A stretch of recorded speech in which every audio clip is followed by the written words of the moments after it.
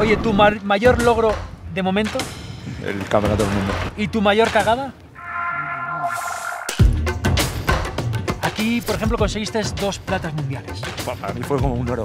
Estaba mi familia, estaba el rey. Estaba el rey. Estaba el rey. Tú eres un hombre de retos, un hombre de aventuras, un hombre de carrera. Yo veo necesario competir, tú y yo. ¿Estás seguro? Sí.